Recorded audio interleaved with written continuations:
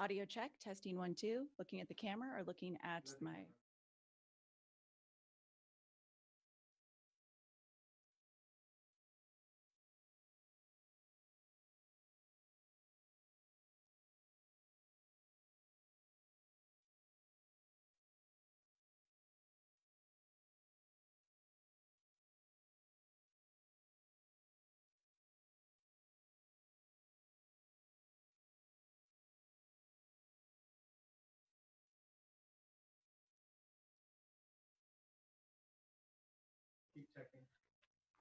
10, 9, 8, 7, 6, 5, 4, 3, 2, 1.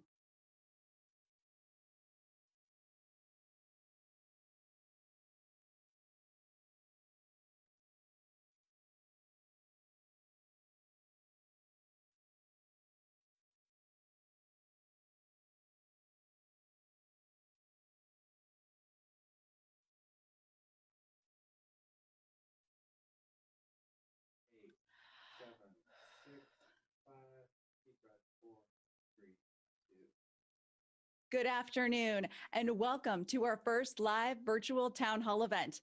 I'm Amy Ventetuolo. This town hall event has really been designed for you, our community. Our goal is to ensure that we're answering your top COVID 19 questions. Today's topic specifically regarding healthcare response. With me today is a panel of experts from our region and local elected officials here to address you directly.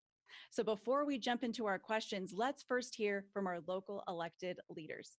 Joining me via Zoom is our City of Reno Mayor Hillary Schieve, our City of Sparks Mayor Ron Smith, and our Washoe County Commission Chair Bob Lucey. First, let's hear a few words from Mayor Hillary Schieve. Welcome, Mayor. All right, thank you so very much. And thank you to our regional partners for having this important community conversation. Um, I'm really grateful to be here and to invite our community into really finding out um, more information about what this crisis entails. I also want to thank our entire community for doing a tremendous job right now with social distancing and staying home for Nevada. It's incredibly important right now that we flatten the curve, and we know that we are doing a tremendous job. So I want to thank everyone in our community for doing such. And again, let's spread kindness, not the virus. Thank you, Mayor Schieve. Now we want to hear from City of Sparks Mayor Ron Smith. Welcome, Mayor Smith. Hi, how are you? I'm well. How are you, sir? I'm doing well, thank you. It, it, I am uh, Sparks Mayor Ron Smith. Thank you very much for including me in this town hall. This is such a great way to answer some very important questions. These are trying times and very difficult on all of us. But please remember that we are all in this together. My thoughts and prayers go out to the families that have lost loved ones and to those that are battling this disease now. Many of us think there is nothing we can do and feel helpless, but there is something we can all do, and that is stay home for Nevada. And there's something else we can do as well. Due to the COVID 19 pandemic, suicides across the nation are on the rise. We are challenging all community members, city and county leaders, organizations, businesses, and agencies to be part of the solution to prevent suicide by taking some important 25 minute training called SAVE, S A V E. This training is offered through the Department of Veterans Services and Psych Armor. It will help us all recognize the signs and help someone that may be contemplating taking their own life. Please go to psycharmor.org to take this great training. Thank you. Thank you, Mayor Smith. Now let's hear from Washoe County Commission Chair Bob Lucey. Welcome. Oh, welcome. Thank you for having me. Appreciate it.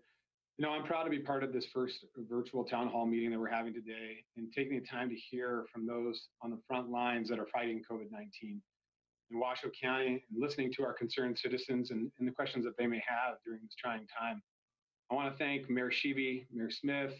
Um, we are all standing side by side with our leaders here and along with the health district to address the ever growing needs of COVID 19 here in Washoe County. This is a very serious issue that we're dealing with, and the only way we can continue to combat that is a, as a unified team. And I think you've seen that through our regional partners and how they've been continually working together to address the current the current need.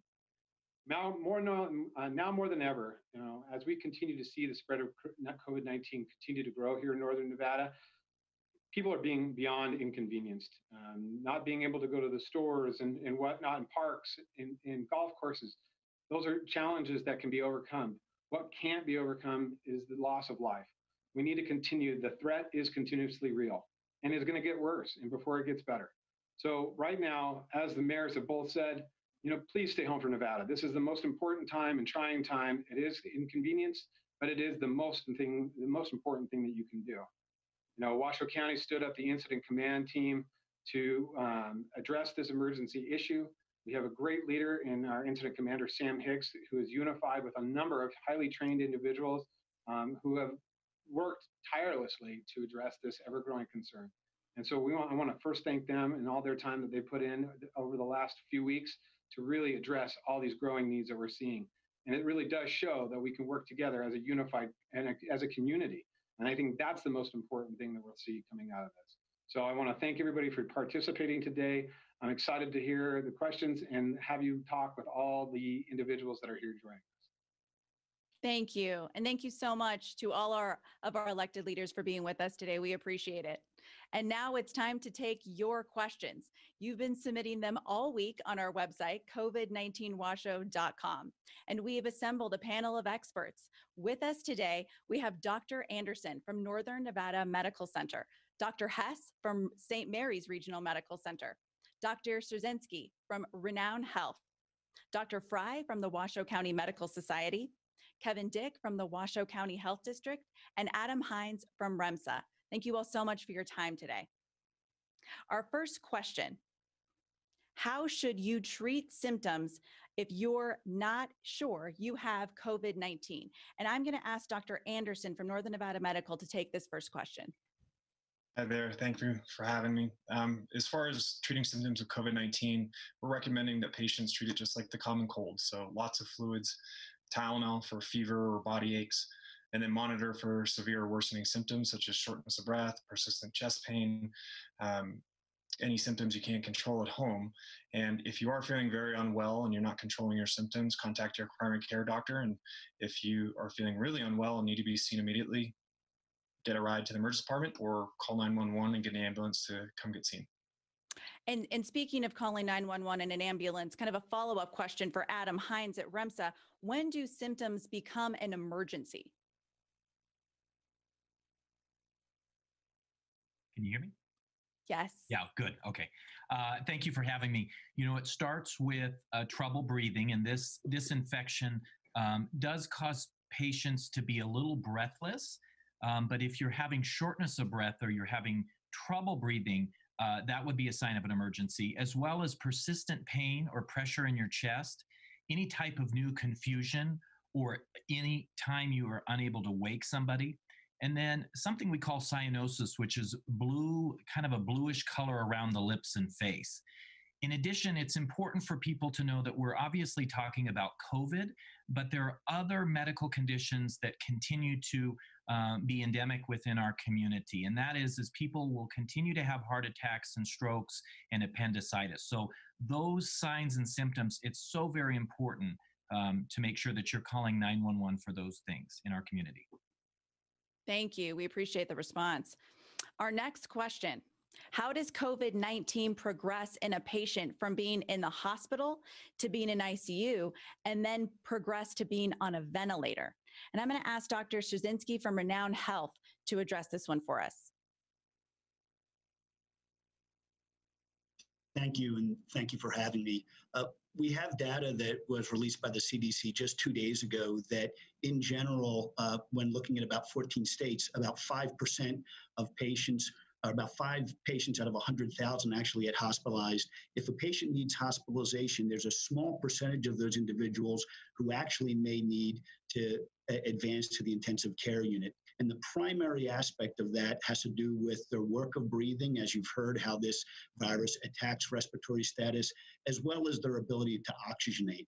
If their ability to oxygenate is diminished to the point that they can't be supplemented with other means, they may need to be placed on a ventilator. And that is the primary reason that patients with COVID wind up uh, entering the ICU. The other is that there may be other side effects from this virus, including overwhelming infection from sepsis or ultimately, as we talked about, or as you may have heard, acute respiratory distress syndrome.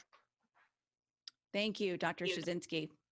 And I know we've heard some conflicting information about this next question, which is what is the length of time the virus remains alive on surfaces? And I'm going to ask Dr. Hess from St. Mary's to help us with this one. Yes, thank you for having me. So, unfortunately, this particular virus, virus is fairly hardy um, and so can uh, remain uh, transmissible for quite some time outside of the body. Um, as there's been a few studies on this, the CDC actually has uh, some information posted on this. Uh, the New England Journal of Medicine actually published a study uh, less than a month ago, uh, kind of giving us guidelines. And this is sort of what came out of that. First, um, it's important to know that our food and water do not seem to transmit the virus. So when you're eating or drinking, you do not need to be fearful that what you're ingesting could give you the virus. That being said, what food or liquid are packaged in could potentially uh, carry the virus. And so um, these are some sort of household items that you may have or come in contact with, and this is the length of time that typically um, these things can be infectious. Um, copper, which would be like certain pots and pans, can uh, the virus can remain viable for up to four hours. Cardboard, which might be like packaging boxes, can remain viable for up to a day. Um, plastic or stainless steel, which is really most of our services, uh, whether it be door handles, light switches, sort of uh, countertops. Unfortunately, the virus can remain viable for up to two to three days. Um, and that goes back to the social distancing, wearing the masks that are now recommended. So if someone does sneeze or cough, that it doesn't then get on a surface that then somebody else could come along and touch that same uh, surface and then touch their face or mouth. Um, so those are sort of the, the, the main guidelines uh, as far as how long this uh, virus remains viable. Thank you for sharing that and for and for clearing that up for us. We appreciate it. And kind of a follow-up question to that, how long does it linger in the air? And I'm going to ask Dr. Fry from the Washoe County Medical Society to please answer this one. Thank you. Uh, so the, the physics of transmission are becoming a little bit more clear over time as we get more information. And it's probably important for the, uh, the viewers to appreciate that there is a respiratory droplet, which is a larger particle size that typically is greater than five microns and settles after a cough, uh, for instance, in a room, um, settles pretty easily onto surfaces uh, and doesn't stay aerosolized in the, in the air very long at all. Uh, but there is a bioaerosol that um, component to this, uh, which puts uh, healthcare providers especially at risk when they're doing aerosolizing procedures. And these bioaerosols uh, could also be um, in play with, with normal speech. Uh, for instance, the louder somebody speaks, or if they have different um, speech mechanics than the next person, they can actually have these bioaerosols um, go into the air. And, and we, we believe that this could be helping transmission um, out in public. And that's why it's so important uh, for everybody to wear some sort of mask uh, when they're out in proximity to others. Exactly. Thank you so much, Dr. Fry. And our next question that we've been getting a lot of questions on is where do I go to get tested? Mr. Kevin Dick, Washoe County Health District, can you answer this for us? Yes, uh, thank you, uh, Amy, for having this uh, town hall forum. Appreciate uh, the opportunity to be here. In order to get tested, uh, we're recommending for people to uh, contact their primary care physician um, or contact our hotline at 328 2427. That's area code 775 328 2427. And um, we're uh, only asking people uh, to make those contacts for testing if they have symptoms and are concerned that they have COVID 19. When you call our center, um, we will then uh, ask a, a, series of questions uh, about your uh, symptoms and, and, about you. Uh, so that we can determine whether you meet the risk criteria that we're using for the people that we have come to have samples collect, collected for testing. Uh, so that will depend on the symptoms that you're exhibiting. Uh, it will depend on what, what types of underlying conditions that you may have, uh, your age, uh, factors that uh, help us identify who we believe are the, the vulnerable population that we need to prioritize for those tests. We'll also be prioritizing healthcare workers and first responders for that testing. Then, if you are um, scheduled for for testing, uh, we'll provide you with the time and the location to come uh, through our drive-through test location. If you're working with your uh, healthcare provider, um, they can work with you to arrange for uh, testing through your healthcare system. Um, if you're having difficulty um, uh, working with them for that, uh, you might want to contact an urgent care facility that's associated with your healthcare um, health insurance and healthcare provider uh, to be able to talk with them about opportunities for testing uh, because uh, test samples are also being collected and, uh, and submitted for testing uh, through our healthcare systems.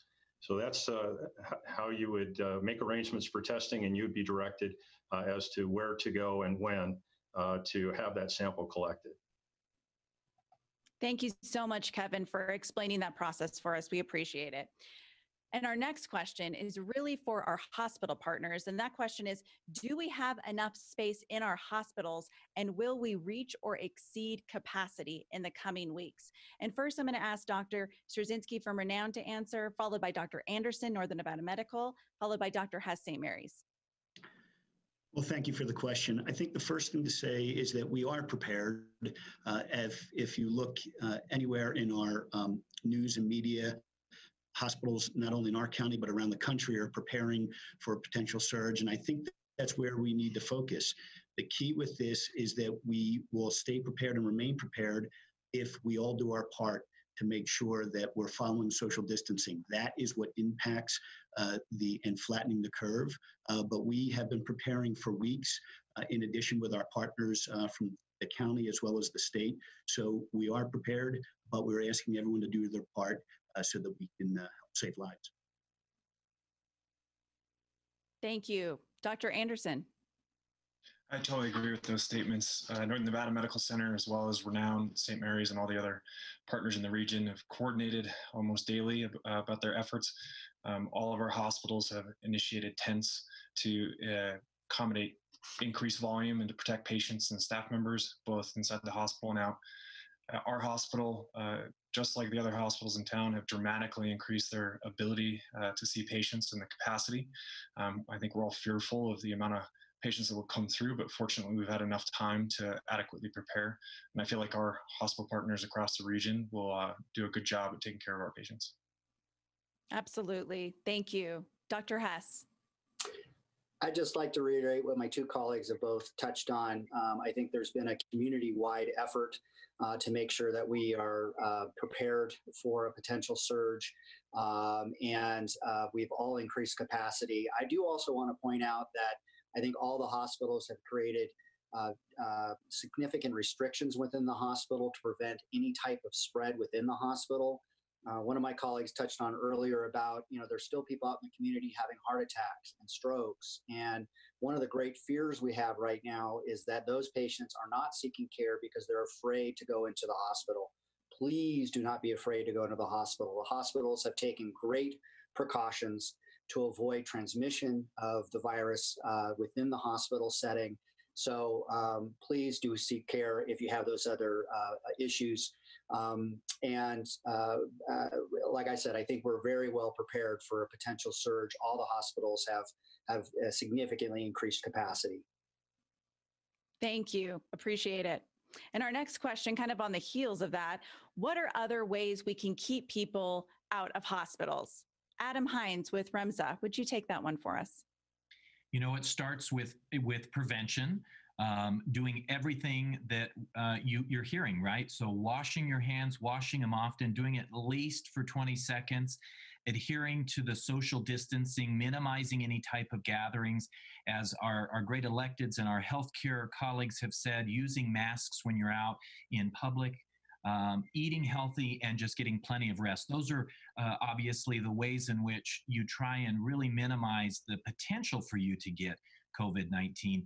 But for those people that, um, you know, actually do come down with this illness, uh, a lot of it has to do with exactly what we do when we're sick, right? So hydrate, get plenty of rest, quarantine yourself, especially uh, if if you are in a in a home with multiple people. Try to reserve or or, or um, put yourself in a room where you can have your own bathroom and, and you're not um, um, gathering together. Um, in addition, using uh, over-the-counter fever-reducing medications. And the other thing that we have seen very quickly is telehealth and technology has been something um, that has been coming. And I think uh, this uh, pandemic has really pushed those uh, technological accesses um, to healthcare um, to to everybody. And so using things like telehealth it's convenient. It reduces exposure. Not everybody that has these symptoms does have covid-19 they could have flu they could have a simple cold. And so it reduces the potential that you may get COVID 19. In addition, it, it, reduces the risk of potentially transmitting it to, to that. Now, we know that some people are just not as comfortable with technology or they need to see a physician in person. And so, uh, if you're using a primary care or you're using a clinic, uh, one of the things that we're recommending is to ensure that you call ahead.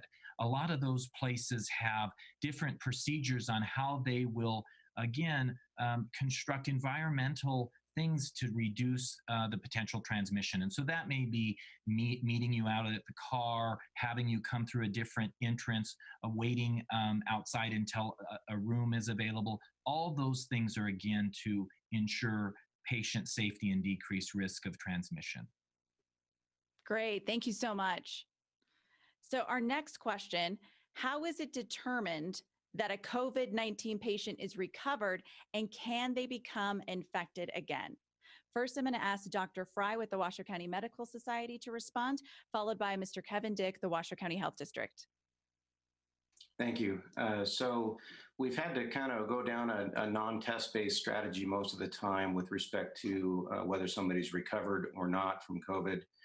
Uh, and usually uh, recovery is based upon, you know, significant and consistent improvement in symptoms. What the CDC is recommending, and I think everybody should really follow this strictly, is uh, they, they, they can consider themselves uh, on, on the road to recovery or mostly recovered when you've had a, a, number of things happen. One of them is three days without any fever and no use of any kind of uh, fever reducing agents like Tylenol.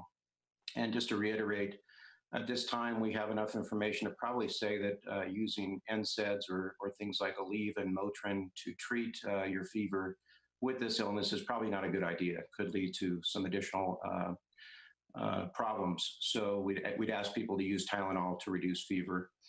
Uh, second is just an overall improvement of your respiratory symptoms. You know, you're feeling less short of breath, uh, less winded when you do household chores or go on a walk. And then the third thing is uh, that you want to have seven days go by uh, with, uh, you know, no, since their symptoms first appeared. Uh, and, be, and, mostly because we believe that viral shedding con- continues to go on even when you're uh, symptom free for quite some time. Uh, studies have shown kind of on average maybe three days, but up to as much as a week to 10 days.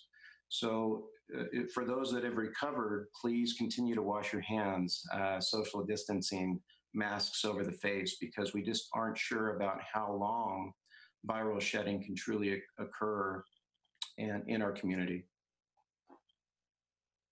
Thank you. Kevin? Thank you, Amy. Um, I agree with uh, what Dr. Fry uh, just uh, explained to us for a, a non-test based strategy for uh, releasing people from isolation uh, as, as far as their recovery goes, the, the three day period without a fever, but also emphasize, as I believe he was telling us, that significant reduction in other symptoms uh, as well. So not just three days without a fever, but significant improvement of, of their condition and, and reduction in all symptoms uh, seven days, uh, at least seven days after initial onset of uh, the, their uh, symptoms. The we also there's a test-based strategy um, that's in that's included in the guidance that we have from the state and that comes through CDC, and that is after that three-day period to conduct testing of individuals to have two negative tests occur uh, 24 hours uh, separated in that uh, in those sample collection for the, the testing. And we are conducting that testing for some critical uh, uh, workers in our community, uh, being healthcare providers that have been recovered from COVID 19 and uh, first responders uh, before they're ret- returning to duty. Uh, but we're, we're having most of our uh, releases uh, occur based on the non test based strategy uh, so that we can continue to prioritize the, the testing of vulnerable populations that we have. And then there's um, COVID 19 is a, is a new disease, and we're learning more about it every day. Uh, and so we don't know for sure um, what the extent of immunity is that people may have if they've recovered uh, from COVID 19. So the, the our belief is uh, that there is an immunity that will occur uh, for some period of time that would help to protect them from reinfection. Uh, but we don't know what that period of time is, and uh, we would expect that that uh, immunity would wane um, uh, the further out that they are from having recovered from the disease. But that's certainly something that uh, is being studied, and we're hoping to have better information on that in the future. Great. Thank you so much. We appreciate it. And we're going to ask one last question of our entire panel.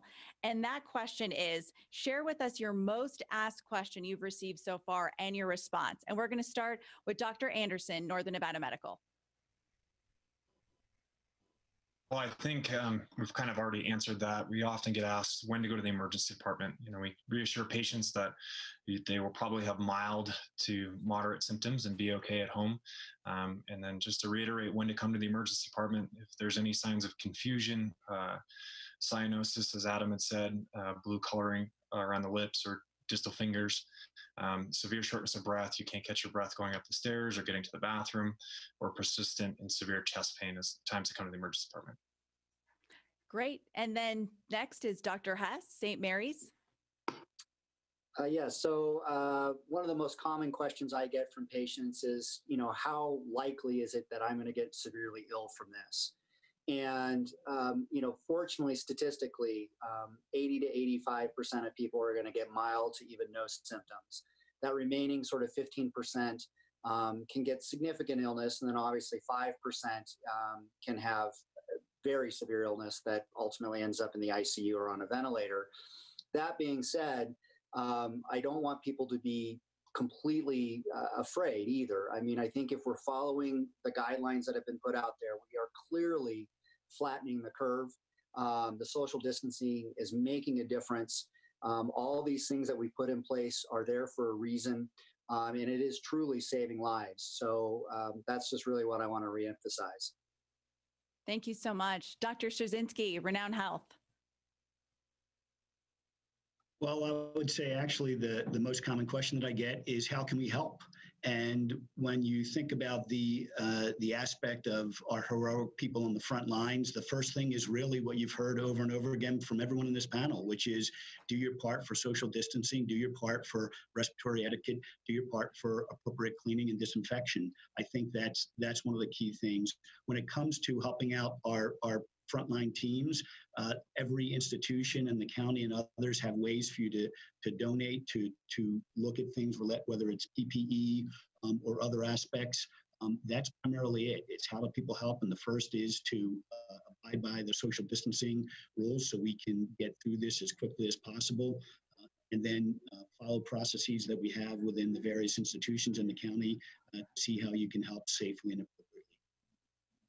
Great. Thank you. Dr. Fry, Washoe County Medical Society. Thank you. Uh, so I would say that, uh, you know, we're, we're seeing a tectonic shift really uh, in, in how quickly uh, we can all adapt uh, and overcome. We've seen, you know, just uh, people quickly go into, um, you know, a, avoiding permissive attitudes, uh, which allows further silent spread, which I think is just unbelievable. We have cell phone data to back that up that says people are moving around a lot less and doing their part.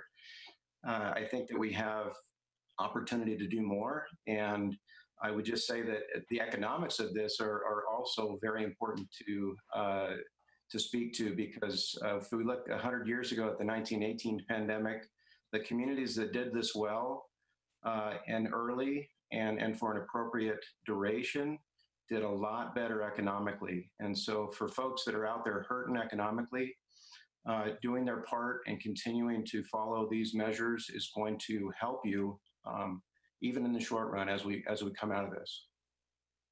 Thank you so much. Mr. Kevin Dick, Washoe County Health District.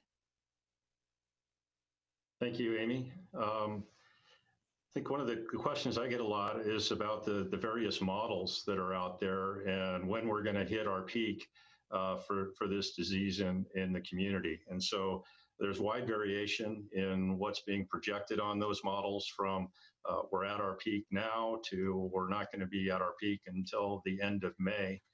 And I guess I would um, circle that back around to what uh, everybody's been talking about is uh, our how we can affect that peak is through our social distancing practices.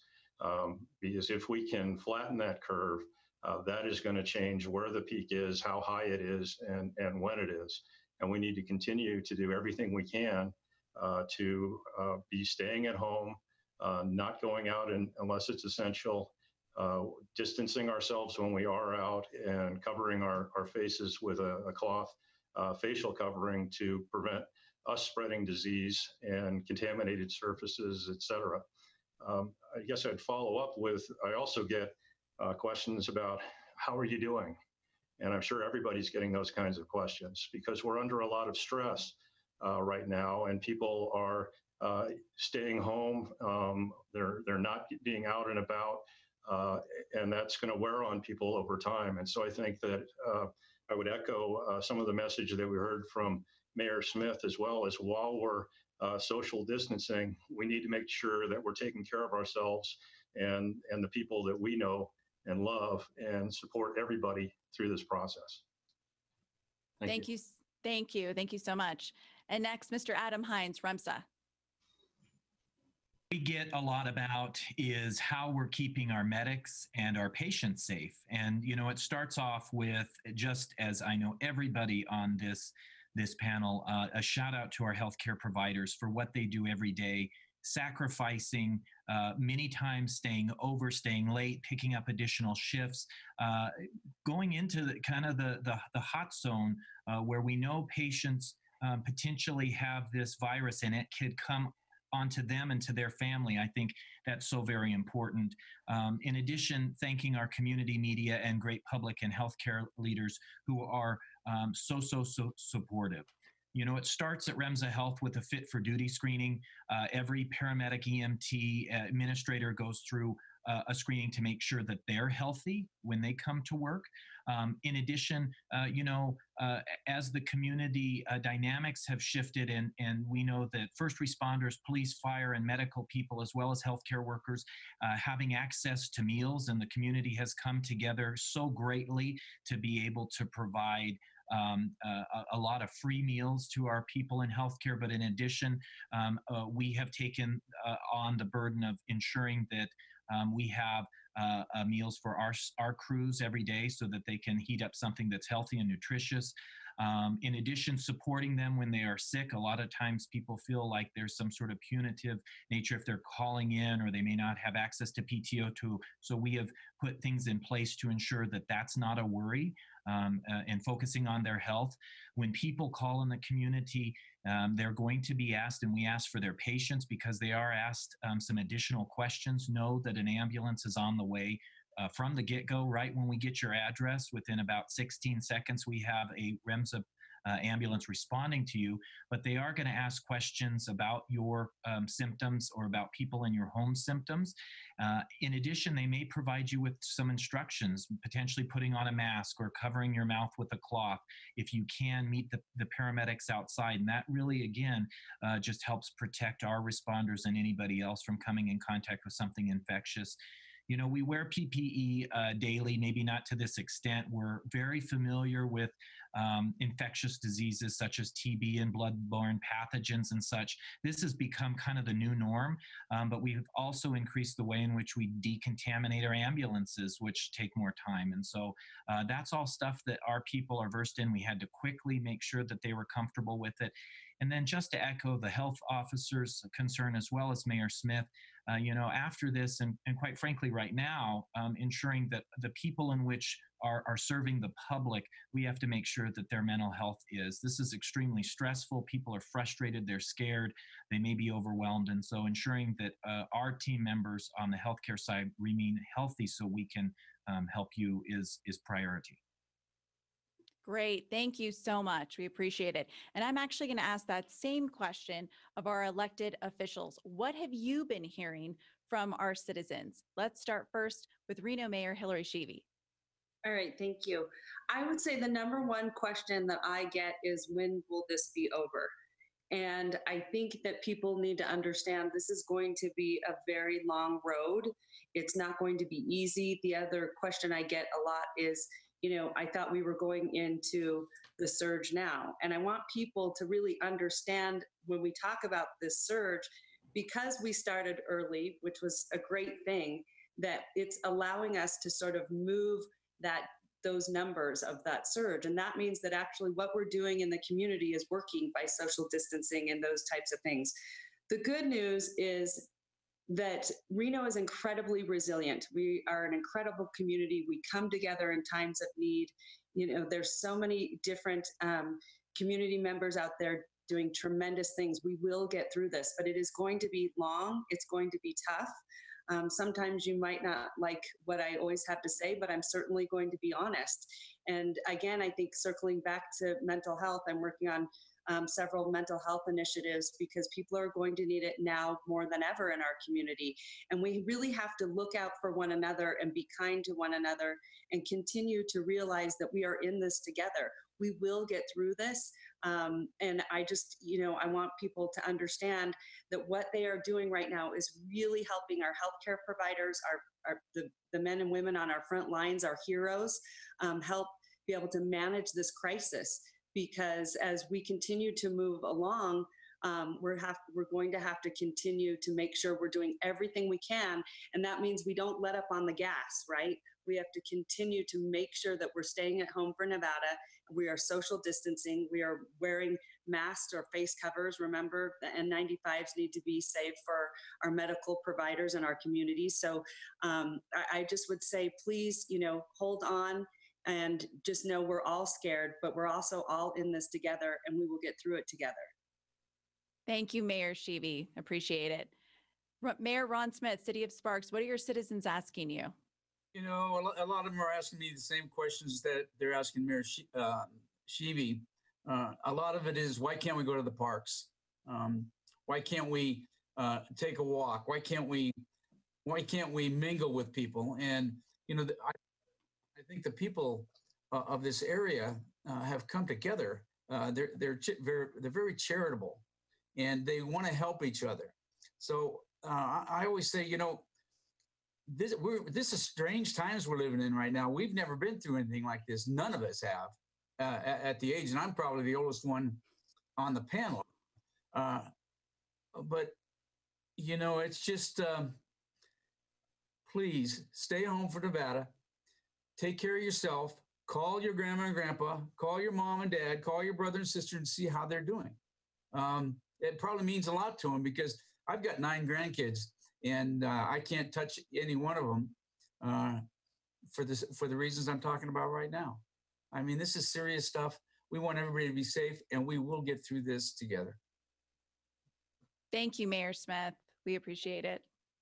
Next, Washoe County Commission Chair Bob Lucey, what are citizens asking you? You know, it's it changes, and I think uh, we here at the county hear the same things as they they do at both of the cities. You know, when are we going to get through this? And but how are we going to recover? What are the steps? What's it going to look like after this is over? And I think those are a lot of the unknowns that are out there right now. But you know, rest assured that the community as a whole, the economy as a whole, will recover. Uh, I think Mayor Schieve said it. We're a very resilient community. We have the resources available. And I think what, what we need to really be focused on right now is that because this is this is very uncertain times, because this is so new, because we're still trying to learn so much about what this disease, uh, this pandemic is, that we're doing everything we can to prepare for the worst, but hope for the best. So I think when we do things like that, you're going to see things shut down, things uh, be your lives be inconvenienced, and there is no goal line, so to speak, that you say, "Hey, look, we're going to get there, and everything will be back to normal," because I don't know what the new normal is going to be like. But what I can tell you is that because you have uh, amazing individuals that you've heard from on the panel today, you've got uh, an amazing group of elected officials that are working tirelessly day in and day out. Look, there's nobody on this panel that doesn't understand that this is a number one priority for us and that we're really, really looking for the best solution for everybody. And we want to make sure that everybody is safe. We want to make sure that your brothers, your sisters, your family members, your grandparents, your kids, um, your friends, stay healthy. And that's the biggest thing. I mean we we are working to make sure that everybody stays healthy. And i think that in itself um, is why you're seeing massive uh, constructions of uh, places like the trailers out of the edison housing project for those individuals that are going to need isolation care if they don't have a place to go. You're seeing um, the army corps of engineers working with the regional partners to build a uh, an alternative care site in our convention center that will be able to house patients if a surge comes those are the types of things that you're seeing our community do to address this. Then you're seeing issues such as um, regional governments uh, waive business license fees and, and, penalties for individuals that may not be able to pay those individuals. You're looking at uh, rent and evictions being waived so that people can remain in their house and stay safe and not not go out and try to look for a new place to live at these uncertain times. You're seeing those types of issues be addressed day in and day out, and we're meeting continuously to have those discussions to find out what the next steps are. Um, and it's it's really, um, as you've heard this expression many times um, from our health our health district officer, it's we're building the plane as we're flying this thing, and it is really a difficult challenge. But we're doing the best we can, and, and it's it's probably one of those most important questions that we get is when are we going to get out this and what that new what are when are when are we going to be able to get back to our normal life and and realistically we don't have an answer for you but what i can tell you is that we are concerned about your normal life. We are concerned about getting you back to that normal life. We are concerned about getting your businesses back open um, and your people back to work and everybody to have uh, some semblance of a, of a normal life again. We don't know when that's going to be, but I promise you, we are working tirelessly to make sure that that is a reality soon. Thank you. Thank you so much. And thank you to our fantastic panel of experts who are with us today. We so appreciate you taking the time to answer questions from our community. That wraps up the Q&A portion of our town hall, but we still have two more guests to join us. Our next guest is someone who knows exactly what it's like to be on the front lines of this healthcare crisis. With us next is Monica Teves, who is the REMSA and EMS supervisor. Monica, thank you for being with us.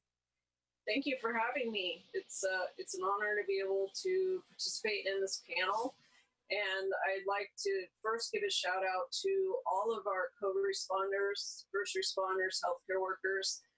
This time has showed how tightly bonded we all are. And we're all looking out for each other. We are making sure we're all safe and we are able to keep going in our jobs because we are vital and need to be out there helping. So um, a lot of our protocols haven't necessarily changed, but we do have to ask patience of the people that call for us because it will take more time for us to prep before we can make contact with them. So a lot of times people may run out of the house trying to wave us in quickly if they're concerned about their loved one, but we must ensure that the crews are safe. So they have to be fully covered up and prepared um, to lower their risk so that they can go home to their families. Absolutely. Thank you, Monica. And can you give us an overview of what it's been like in your world in the last month? The, the challenges have started out with uh, just staying on top of all the changes, um, the communication, all the knowledge that we're all trying to take in as far as you know what the new data is showing. It, it's a constant challenge in making sure with our 500 employees that we're able to communicate it, make it very clear. We want to keep them safe and that, you know, doing above and beyond the amount of isolation and cleaning of the ambulances is only going to be for the better. And it, it definitely works us all a lot harder. Um, but I think in the long run, it's going to keep us resilient um, as we have been as a county. Absolutely. Absolutely. And if there was one thing you could say to the community, Monica, from your perspective, what would it be? Well, we really appreciate those of you that are staying home um, to keep Nevada safe. We do still meet the challenges of there are a lot of people afraid to go to the ER. They may call us to come check them out, um, which is free of charge, and we will go in, we'll assess them, offer them transport or other opportunities to to tie in with what they need to take care of what's going on. Um, but I really want to stress that when there's the shortness of breath and things are starting to deteriorate, they need to call 911 or go to the emergency room and not wait too long because um, it does progress pretty rapidly if they do have the underlying conditions.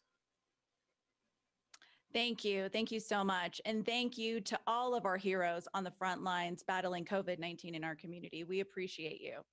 Thank you. And thank you. And before we get to our final guest, let's hear ag- again from our elected officials who are still with us their final thoughts for the community. First, let's start with Mayor Hillary Schieve. Mayor? Yeah, thank you so much. I think, like I said, we are going to get through this together. We're going to be stronger. We're going to be more resilient now more than ever. Um, you know, this is just something that uh, it's hard to wrap your head around. And I will tell you, you know, cities are really prepared for massive disasters like fires and floods. And this is just something so different because it's a public health crisis. But again, I can't stress enough to this entire community how proud I am of all of you for staying home.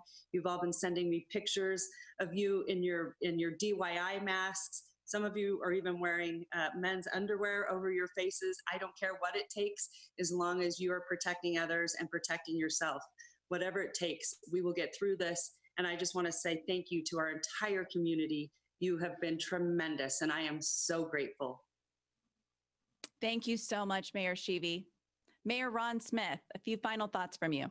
Well, first of all, thank you so much to all the great speakers. The information that you provided is very valuable. And like I said earlier, this is a different world. And I understand that many of us are used to celebrating Easter with our family and friends, but please, this Easter, let's celebrate via phone calls and Zoom meetings. Uh, let's all do this together to help flatten the curve. Stay home for Nevada. We will get through this, all of us together. Uh, you know, my, my wife and a group of women, uh, it's a huge group, matter of fact, are making masks every day, uh, as many as they can, and they're getting them out to the different companies uh, at no charge. And uh, that's just part of the community. They they wanted to do it. I didn't ask them to do it, so I'm very proud of my wife and, and the people that that uh, she's working with. So again, thank you for having me on this panel. Uh, great speakers, all, one and all. Thank you. Thank you so much, Mayor Smith. We appreciate it. And up next, Washoe County Commission Chair Bob Lucey, a few final thoughts. Yeah, thank you. I, I want to first thank and, and take a minute to thank all the healthcare community out there, the medical professionals, the, the first responders, um, the practitioners that are on the front lines day in and day out, really dealing with this and taking care of those patients that are that are critically needed in, in need, those that are hospitalized. They have really been the true warriors in this whole uh, fight against COVID-19, and it's it's important that we don't take for granted their tireless effort and put that to waste by by going out and starting to mingle. Even though it does, as Mayor Smith said, it's Easter weekend. It's starting. To, the weather's starting to change. It's going to be nice out. Don't take the chance. Don't don't jeopardize the the time that those individuals have put in and been on the front line. Really, please stay home for Nevada. Take the time to really make this important for those, and don't don't sacrifice their their what they've given. To our business community, I want to tell you thank you for the sacrifices that you've made um, because on the front lines, those individuals have had, had to close their shops um, as non-essential businesses. please don't don't open your doors to the public yet. We're not ready for that. There's no reason for that. And for those essential businesses, please make sure that if you have employees that are sick, let them stay home. Don't don't let them come to work. That is something we need to continue to focus on. Um, you know, we need healthy workers in our community when we're ready to stand our community back up. And that means anybody who's sick needs to stay home, isolate, listen to what our panelists have said today. They're they're out there looking out for your best interest. You know, and if you've traveled, you have got family members sick, please take this serious. You know, and stay home for Nevada. That is the biggest thing. You know, if you go out and get prescriptions or you have to go get groceries and you have to get those essential needs that you need for your home and your family right now, take the proper precautions. Wash your hands before you go out. You know, wear your masks. You know, I got my mask that my, my sister made for me and I wear it in and out of the office when I go out and when I'm in amidst amongst people. This is important that we do continue to do social distancing. Make sure that we're doing everything we can when we're outside of our home, if we have to go outside of our home toward those essential needs. So we're continuing to pull together as a community. I want to thank everybody that's participated. You know, the regional support has been tremendous, but the communal support has been even better. I mean, you see really the streets are, are empty, those stores are staying closed. And I want to thank you for making sure that you continue to follow those, those directives um, from your elected leaders, from our governor. Um, we really are a resilient community. We really do believe in being pioneers and being battle born. We, we have fought many wars before, and we're going to continue to fight this one. This is just a faceless enemy that we can't see, but that doesn't mean that's something that we can't overcome. And so, with that, I want to make sure that you have taken the time to really enjoy your family, but do it at safe distance. Do it not at the jeopardy of everybody around you. And you know, if we will continue to move through this, the surge will come, um, but we will be prepared. We have a great staff. We have great individuals out there working day in and day out. Um, if you see symptoms and you have symptoms, remember call our health district uh, 328 2427. Uh, share those symptoms with those individuals. If you want to make sure that you keep up to all on all the information, and you know, go to covid19washoe.com. Make sure that you're getting all that through our joint information system. They're they're trying to make sure that you get most up to date. Well, pay attention to the news. The news is covering this all the time. You're getting the most up to date information. Those are the types of things that are going to get us through. And be empathetic to your friends, your neighbors, um, your your family. That is going to help. We need that empathy. That mental health is important at this time. It is going to be a trying time for all of us, but we need to do this as a, as a team and as a community. So thank you. Thank you. Thank you all so much for being here. What a fantastic panel of experts and elected officials. We thank you so much for your time. And before we go, we have one last community hero who's a guest with us today that we want to hear from. So, with the CDC's new guidelines on wearing face coverings, many who have sewing skills in our community have put those skills to use to make masks. And one local seventh grader has dedicated hours to making masks for our healthcare professionals and for the elderly in our community. She also happens to be my daughter. Please welcome Isabella Ventetuolo. Welcome, Bella. Hi. Hi. So, tell us a little bit about how you got the idea and why you started making masks. Well, I heard about it, and my uh, dad brought the idea to me. And I have sewing skills, and I want to make sure that everyone stays safe in our community. So I put them to use and started making masks. That's fantastic. And how many masks have you made so far? Over 20. That's great. So tell us about what's been the best part about making masks for you knowing that everyone in our community will stay safe and knowing that everyone, uh, especially healthcare workers and elderly, will be safe wearing masks. That's fantastic. Thank you so much. I don't know if we can get a quick shot of everybody wearing their masks proudly, but it is fantastic seeing all of our experts and our local um, officials all wearing masks. I see Dr. Fry, Dr. Zerzinski, Dr. Anderson, Commissioner Lucey, Adam Heinz. Thank you so much for wearing your mask. And Bella Ventetuolo, she's wearing her mask. So thank you all so much. We so appreciate your time to join us today and to answer some of your questions. You've submitted them to us on our website, covid19washoe.com. And this is just the first of a series of town hall events for the month of April. We'll be tackling other issues like public safety and business issues in our community. So keep the questions coming on our website. Again, that's covid19washoe.com. And until the next one, I'm Amy Ventetuolo. We'll see you at the next virtual town hall event.